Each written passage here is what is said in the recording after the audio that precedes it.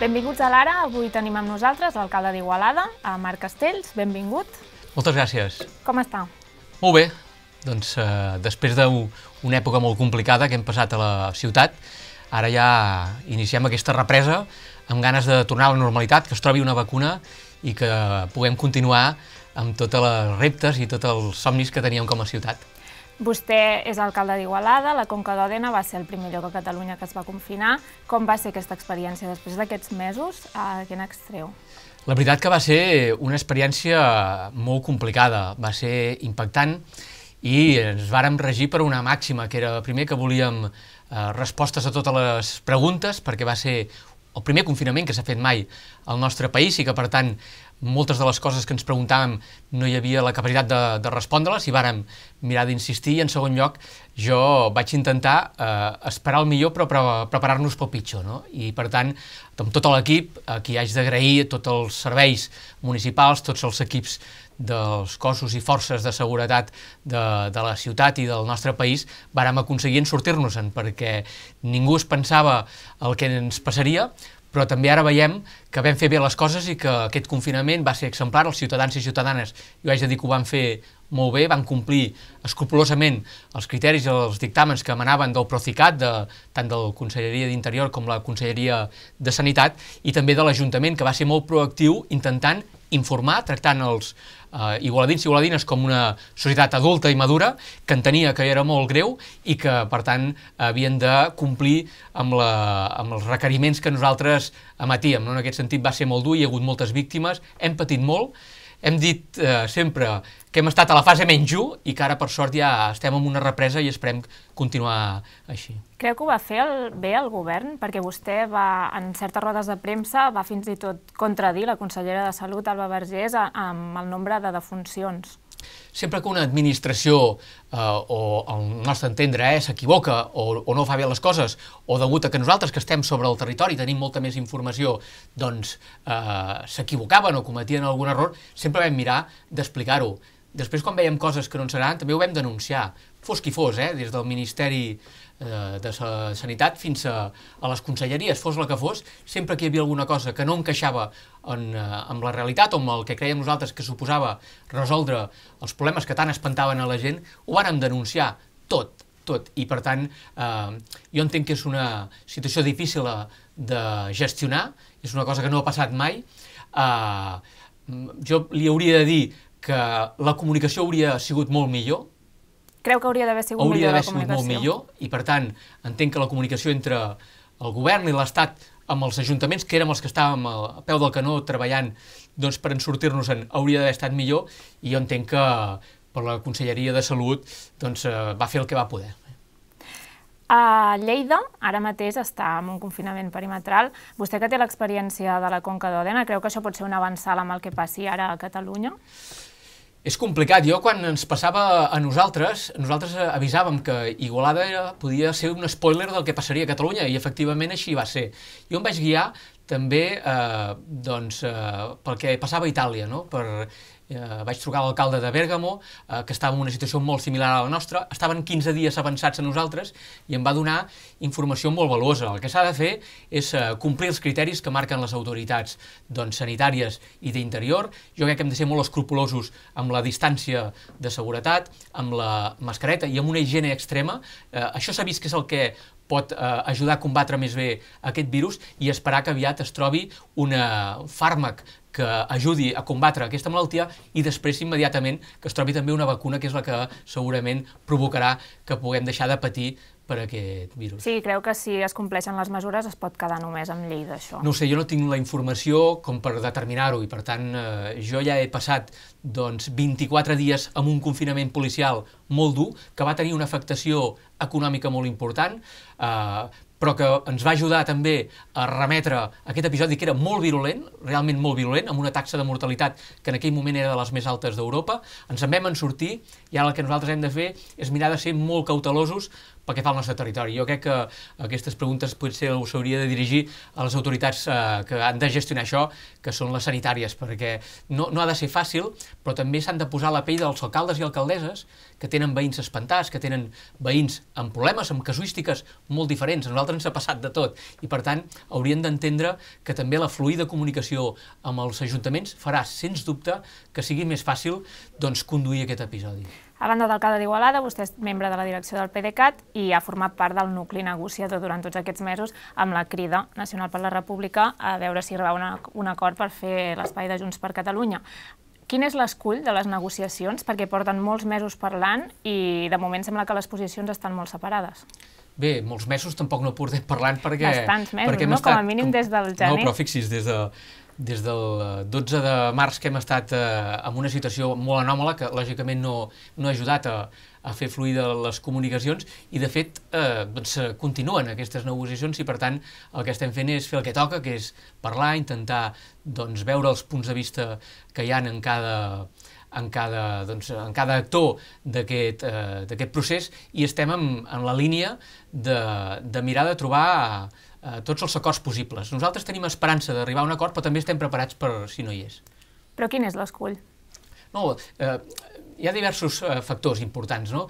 Un primer és que nosaltres entenem que el Partit Demòcrata és un actor sense el qual no s'entén Junts per Catalunya. I per tant aquest és un dels primers, eh, jo diria, coses que hi ha sobre la taula que per nosaltres són molt importants perquè el Partit Demòcrata jo crec que tresora mm, no tan sols una gran quantitat doncs, d'alcaldes i alcaldesses, diputats i diputades, d'actors eh, institucionals molt importants, sinó també eh, una ideologia que eh, jo penso que en aquests moments ha de ser representada perquè és la ideologia eh, central d'aquest país, és la, ideologia que penso que permetrà en un uh, escenari uh, passat l'estiu d'una crisi econòmica i social molt greu, permetrà un actor com el Partit Demòcrata gestionar amb, uh, amb més garanties una crisi que vindrà, al meu entendre, sense precedents. Espero equivocar-me.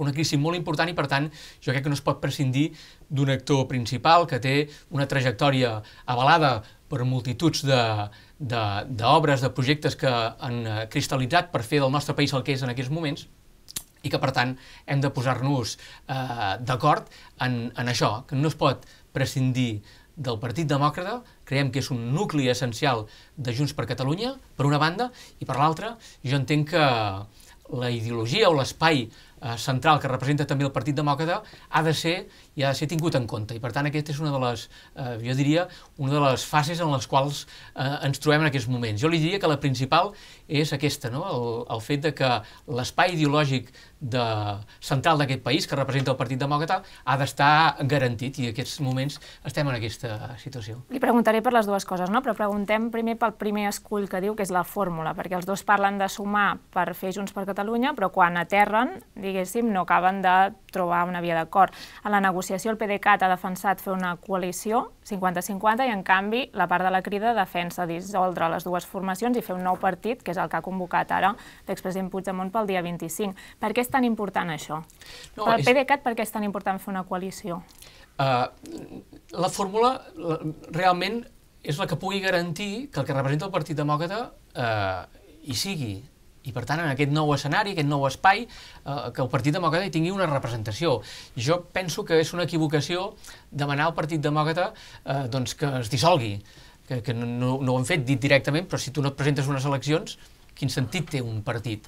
Nosaltres Els hi han demanat que no es presentin a les eleccions. No, home, com a partit de, demòcrata no, que, que, que, que les persones vagin cap a aquest nou espai, però nosaltres entenem que eh, un partit polític ha de poder defensar i representar una part de la societat i el Partit Demòcrata, amb totes les eh, dinàmiques que portem dels darrers temps. Ara està en una posició que creiem molt important per sumar en el futur que ve aquest país d'una gestió important per fer front a una crisi que no serà catastròfica però que s'haurà d'afrontar molt important, doncs prescindir d'una eina com el Partit Demòcrata creiem que, que, que pot ser un error i per tant per això defensem que és possible l'acord, jo li diria que nosaltres estem en l'escenari, com li deia abans, d'esperar que hi hagi un acord, però també estem preparats pel desacord. Si no hi ha un acord, nosaltres també creiem que hem de donar i representar una part de la societat. Per tant, estem en un escenari on tot és possible i esperem doncs, que totes les parts puguin veure doncs, els actius que té el Partit Demòcrata i esperem poder sumar per fer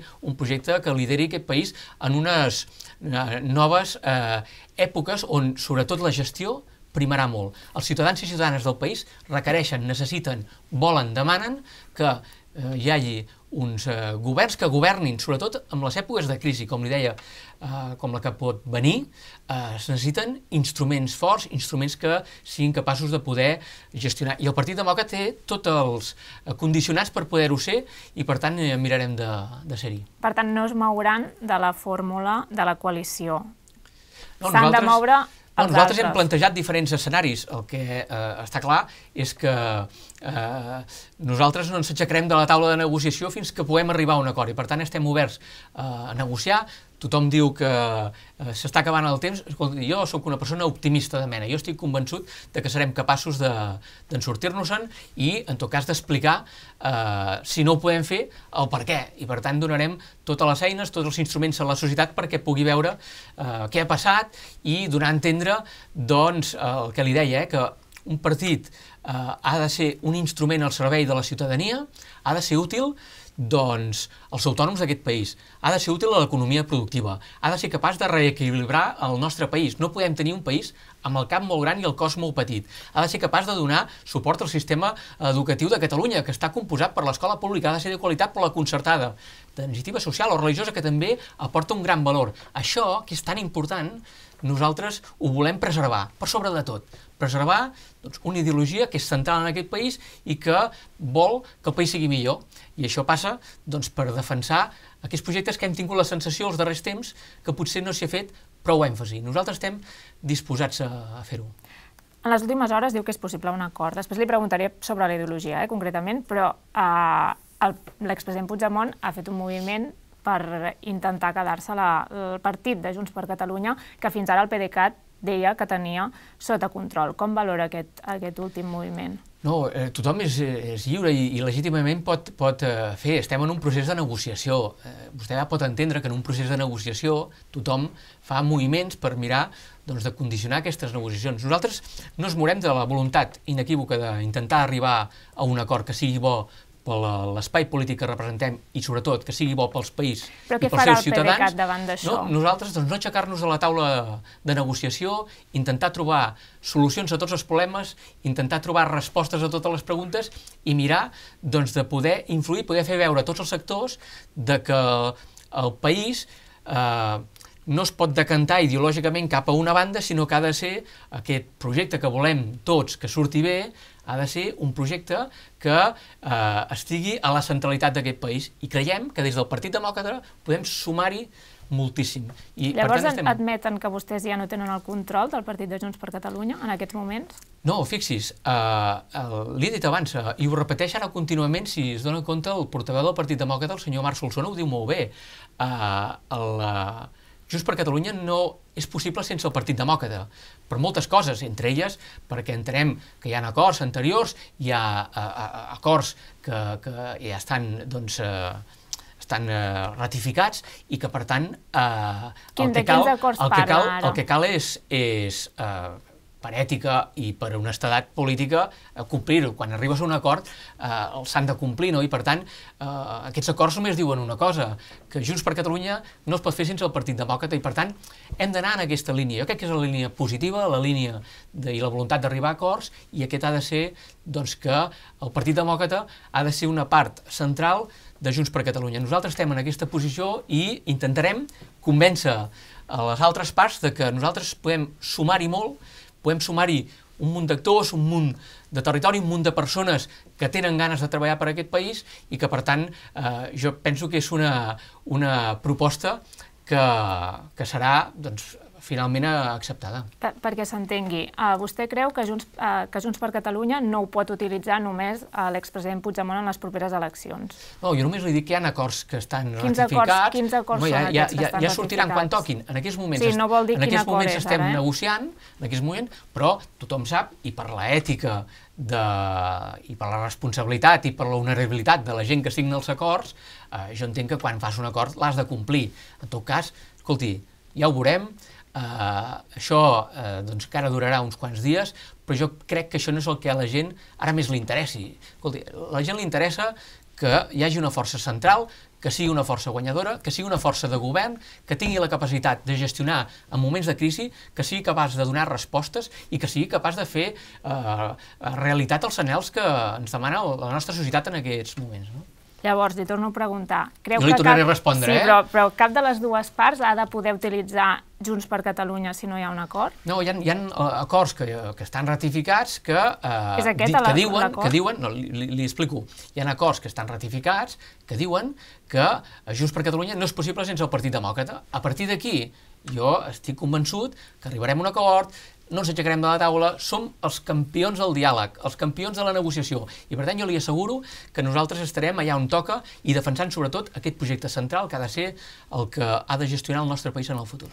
L'expresident Puigdemont ha convocat una assemblea constituent pel dia 25 de juliol per fer un nou partit. Vostès han dit que no permetran la doble militància. No, no, no, no ho diem nosaltres que no ho permetem, ho, Ho diuen diuen els els estatuts. estatuts. Sí, clar, no, Llavors seria jo- molt il·lògic que jo sí. estigués en una formació i anés en contra del que diuen els meus estatuts. Llavors jo en li, cas, jo, li jo, jo pregunto... No, és que no m'ha deixat acabar la No, pregunta. però jo li avanço perquè com que ja sé el que em preguntaran. Jo li dic, nosaltres, uh, uh, miri, escoltarem a tothom, com hem fet sempre.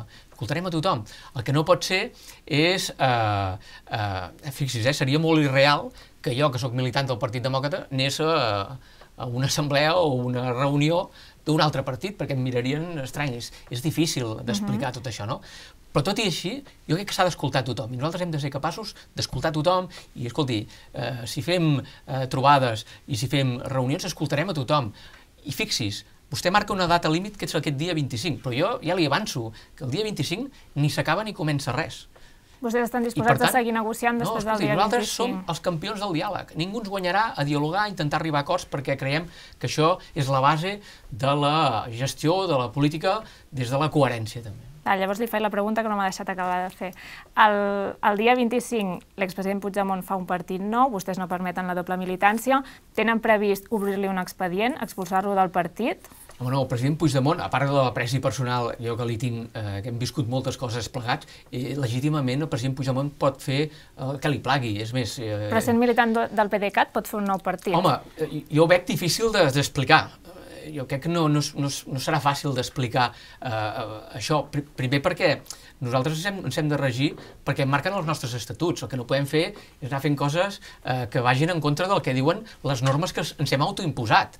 Eh, I per tant, eh, escolti, el 25 hi haurà aquesta, aquesta trobada i el Partit Demòcrata farà eh, abans, durant o després, doncs les seus, eh, reunirà els seus òrgans perquè els associats puguin decidir sobre el seu futur i puguin conèixer doncs, l'estat de les negociacions i puguin saber tot el que està passant. Però això passarà quan toqui. En aquells moments, com deia el conseller Mascolell, el llarg termini és demà passat. Estem en un escenari de diàleg, de negociació, nosaltres volem arribar a un acord i serem molt, eh, jo diria, sòlids eh, intentant eh, eh, doncs, continuar aquestes negociacions. Però els militants del PDeCAT i Puigdemont, que és militant del PDeCAT, que vagin el dia 25 al Congrés, deixaran de ser militants del PDeCAT perquè el PDeCAT els expulsarà o han de deixar de ser-ho per No, anar-hi? Quina és la posició del no, no, Partit el Partit Demòcrata davant no, d'això? no, el Partit Demòcrata eh, no, no, no, no ha d'expulsar ningú. En tot cas, la teva coherència personal, política, la ètica també, t'ha de fer veure que tu no pots estar amb dos eh, partits polítics. És a dir, jo crec que seria un cas únic al món de gent o persones que puguin militar en dos partits polítics. Llavors ho han de Fixis, deixar fixis, abans de- abans de fixis, ser fixis. Uh, al Congrés. No, no, o, o, o, o, jo, jo, jo no tinc una bola de vidre, no sé el que passarà. Imagina que arribem a un acord i no es fa eh, res el dia 20, per tant, no podem especular sobre el futur. El que hem de fer és anar dia a dia, i per tant, ja sé que vostès, com a periodistes, el que volen és tenir informació i, i, i explicar-la als ciutadans què és el que toca, però nosaltres tenim l'obligació també de ser responsables respecte a tot el que passarà en aquests propers dies. Doncs hi ha eh, doncs una negociació activa, molt activa, i per tant els esdeveniments s'aniran succeint i per tant hem de eh, preparar-nos per escenaris de futur, però no podem eh, dir eh, coses que no sabem si passaran o no. Per tant, quan passin, no pateixi que nosaltres vindrem a explicar-les i les explicarem amb la contundència o amb la capacitat pedagògica que tinguem perquè la ciutadania ho pugui conèixer. Però en aquests moments fer especulacions jo penso que... Llavors no ho saben, eh? Què pot passar amb la gent que vagi el dia 25 allà? En aquests allà? moments no sabem perquè no sabem qui anirà ni, ni, ni com serà i per tant no, no, no, no li puc donar més informació. Llavors, vostè parla molt d'ideologia i del que representa el PDeCAT. Uh, el PDeCAT vol representar un espai de centre-dreta que creu que el partit que ara mateix ha plantejat Puigdemont no el representa? No, miri, jo perquè, perquè els ciutadans també es puguin fer una idea, jo que m'imagino. Perquè què vol dir espai central? Sí, li dic molt personalment, perquè, perquè la gent ens pugui entendre també, perquè a vegades eh, el llenguatge polític l'entenem els periodistes i els polítics i, i la ciutadania els hi costa d'entendre. Miri, perquè vostè es faci una idea, de, o el ciutadà es pugui fer una idea del marc mental on ens movem, és dir, miri, jo l'espai que representa el Partit Demòcrata, el que jo personalment crec que ha de representar el Partit Demòcrata, ha de ser en l'àmbit nacional, està allunyat del que representa la Marta Pascal, allunyadíssim i en l'àmbit ideològic està allunyadíssim del que vol el senyor Jordi Sánchez. I per tant, entre aquests dos espais, entre l'accés i el defecte, hi ha la virtut que deia Aristòtil.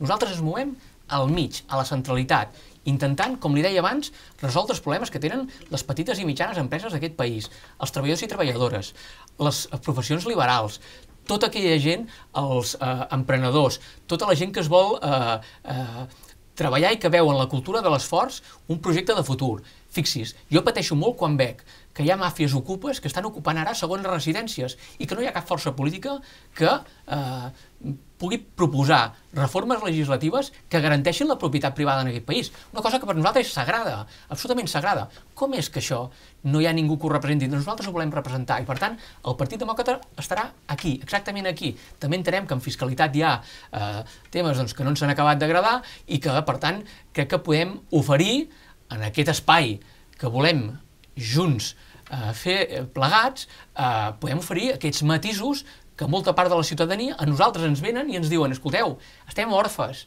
estem orfes d'espai que ens representi, i per tant nosaltres volem representar aquest espai, mirem de fer-ho junts, com més siguem millor, però com li deia, estem preparats eh, per l'acord, però també preparats pel desacord. Anem a concretar la última reforma del govern de l'IRPF, que ha pujat a les franges més altes a certs punts i que s'ha modificat l'impost de successions i s'ha eliminat la majoria de bonificacions. Això el PDeCAT ho accepta o no hi està d'acord? Miri, li diré d'una altra manera. Vostè s'hauria de preguntar per què hi ha empresaris o persones d'aquest país que estan eh, posant propietats el nom dels seus fills o de les seves famílies o de qui vulguin perquè tenen tot el dret a fer-ho a Madrid o en altres comunitats que fan dumping fiscal. Això és un escàndol. Això és riquesa que marxa de Catalunya cap a un altre lloc. És dir, ja, ja li entro per la base. Hem de combatre això. Això no pot ser. No pot ser que la gent aquí se senti incòmoda. No pot ser que puguem atraure talent i no puguem fer-ho perquè les condicions fiscals... Ei, degut a també al drenatge eh, de finançament que té el nostre país que hem de combatre també. Per tant, hem de trobar eines, instruments, i això són els partits polítics, això és el que vol representar el Partit Demòcrata, que doni solucions a aquests problemes. Jo trobo molt greu que marxin aquestes inversions perquè els impostos que es paguen aquí són molt més alts que els que es paguen en una altra comunitat. Vostè ho troba normal, això? Jo no ho trobo normal. I, per tant, com a, com a persona, com a representant d'un partit polític, jo el que treballaré és perquè, assessorats per experts, assessorats per persones de valua inqüestionable, puguem fer propostes en el futur que puguin garantir que aquest dumping fiscal no es pugui fer, però, que és un però escàndol. Però vostè està a favor o en contra de la pujada de l'RPF? Depèn.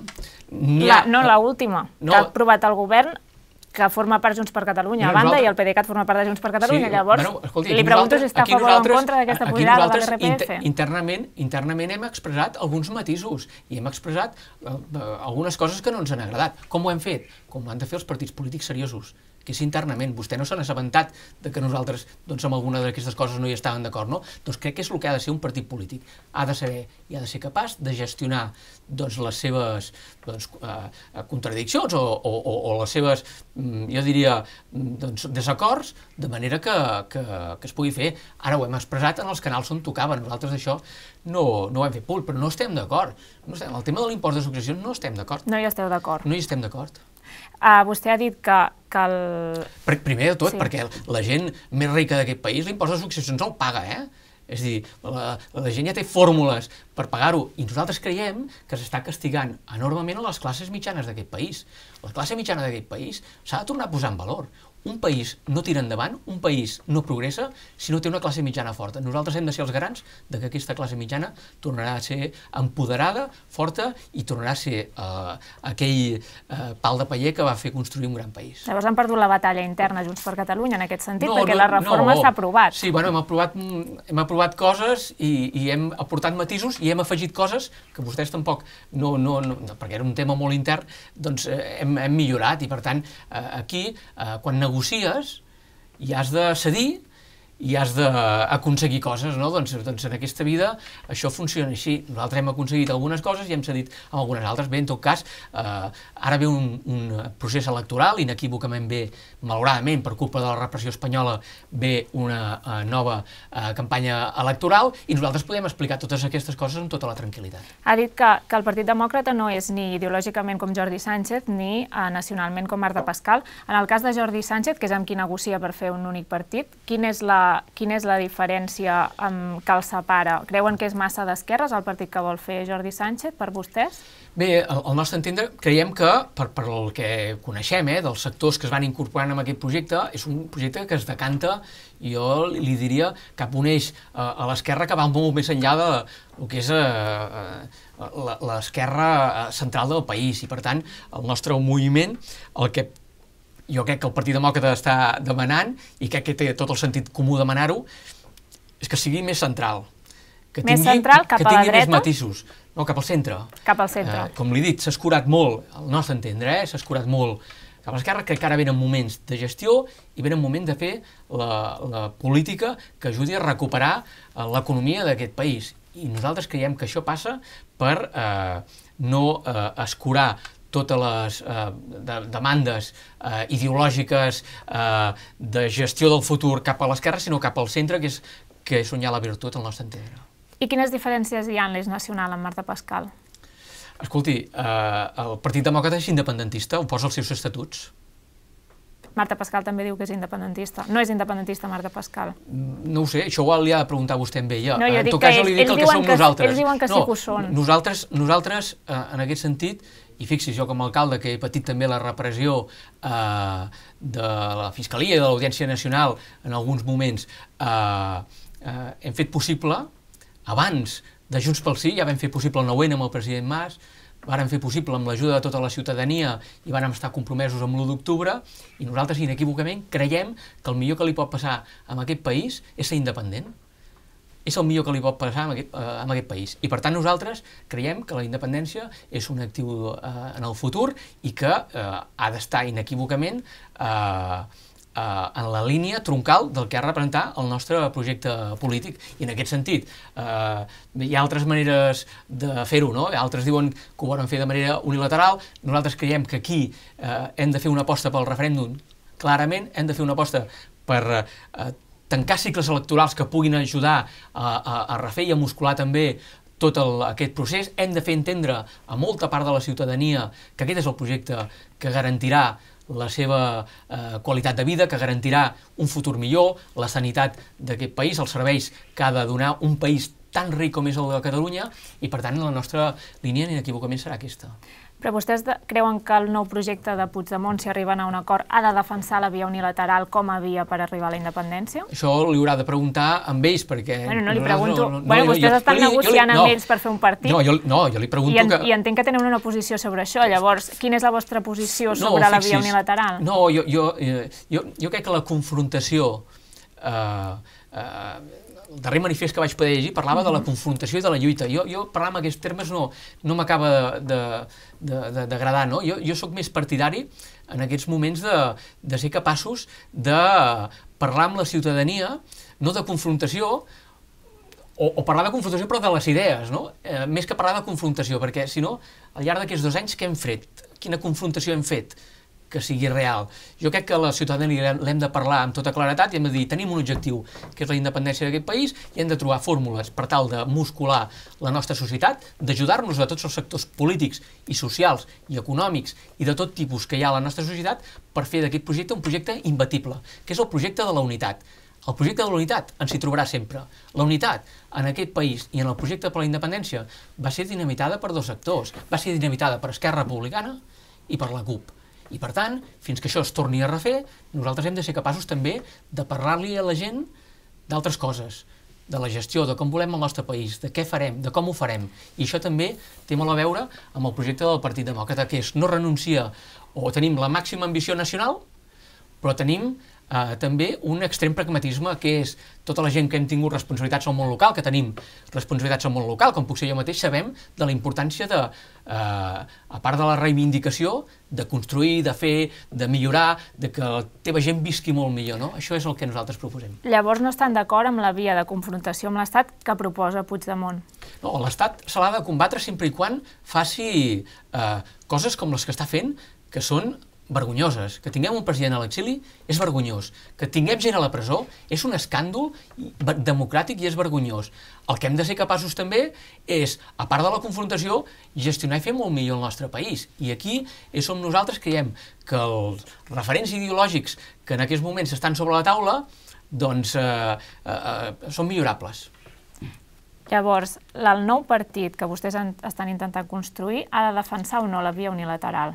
Home, això suposo que ho decidiran els seus eh, militants o els seus associats. En tot cas, Però què això, pensa vostè? Veurà... No, jo li, jo li puc parlar del que pensa el Partit Demòcrata. Què pensa el Partit no, Demòcrata? No, el Partit Demòcrata pensa el que li he explicat. Li repeteixo el no, que he repetit no al llarg dels 40 minuts. No m'ha no doncs, explicat si estan no, a favor o en contra sí, de la via unilateral. No, nosaltres creiem que uh, aquest país, la independència d'aquest país és uh, a mig termini l'única manera que tenim de poder gestionar millor la, la nostra uh, riquesa, els nostres serveis, que progressi i que pugui ser un país admirat al món i que, per tant, això per nosaltres és irrenunciable.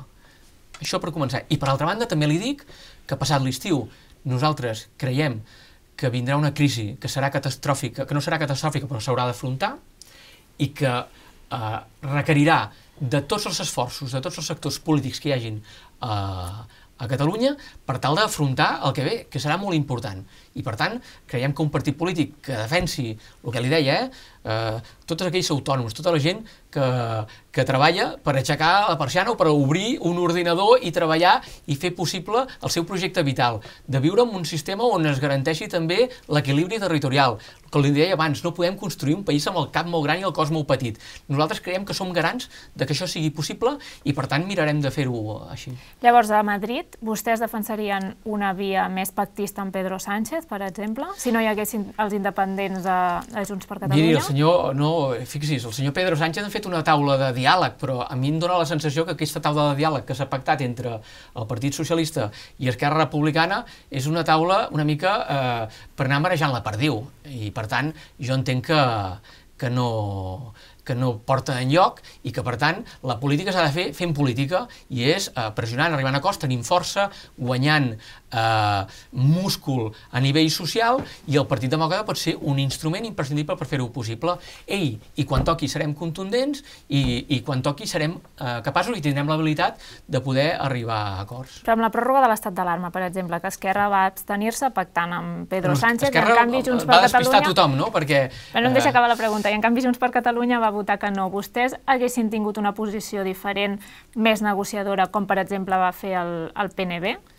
Bé, si vostè pregunta amb els diferents eh, eh, li pregunto grups PD, polítics... Li no, no, però fixis, si vostè li pregunta amb els diferents grups polítics quina sensació van treure d'aquestes negociacions de l'estat d'alarma, doncs la sensació que ha quedat és molt agradolça.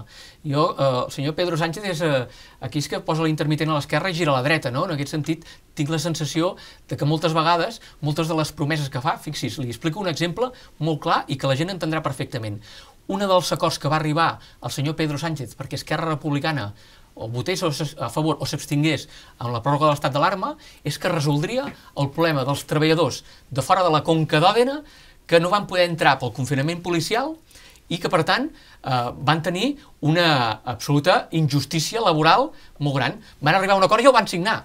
Això no s'ha resolt. Fixis, incompleixen fins i tot els acords que escriuen. Per tant, el que hem de posar en valor és que eh, és difícil eh, negociar o parlar amb alguna persona que no és capaç ni complir els acords. Fixis que li estic dient que Esquerra Republicana va afirmar això i que això no s'ha resolt i que segurament acabarà la via judicial tot això. I, i, I una persona que signa un acord i no el compleix, és dolent per qui l'ha firmat, però és dolent també per qui no fa valdre el que ha signat també. Eh? Per tant, fixis lo complex i complicat que és tot això. No ho haguéssim fet diferent, doncs, això. Mm, escolti, a nosaltres ens agrada mirar endavant i no mirar endarrere. Uh mhm. -huh. Com interpreta el silenci d'Artur Mas, de l'expresident Artur Mas, amb tot això? No, el president Mas és un, un referent i jo estic molt, molt, molt convençut i estic segur que ell eh, doncs segurament es posicionarà eh, eh, properament i per tant eh, hem d'entendre que el president Mas tindrà un posicionament eh, els propers dies quin tipus de posicionament no sé, tindrà. No saben si...